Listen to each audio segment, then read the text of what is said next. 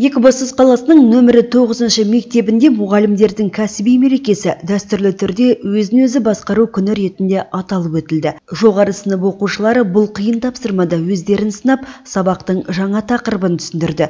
Әрине тапсырма оңай бола қойған жоқ. Бірақ соған қарамастан жаңадан мұғалімдік мамандықты тізгіндеген оқушылар тамаша жұмыс жасады. Өзін өзі басқару күні керемет өтіп жатыр ұжым жұмыла жұмыс істеп жатыр деп айта аламын. Балалар бізді мұқият тыңдауда. Барлығы жақсы. Біздің ардақты ұстаздарымызды құттықтағым келіп отыр. Сіздерге барлық жақсылықты ең бастысы төзімділік пен денсаулық тілеймін. Сабақтар әдеттегі форматта өтті. Алдымен мұғалімдердің дәрістері содан кейін оқушылармен сұрақ жауап.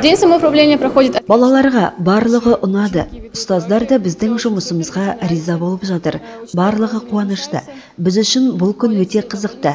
Бірақ балалармен жұмыс істеу барысында қатты шаршайды екенсің. Тоғызыншы мектепте өзін өзі басқару күнін өткізу дәстүрге айналған. Мұндай тәжірибеден кейін оқушылардың басым көпшілігі өмірін осы тамаша мамандықпен байланыстырғысы келеді.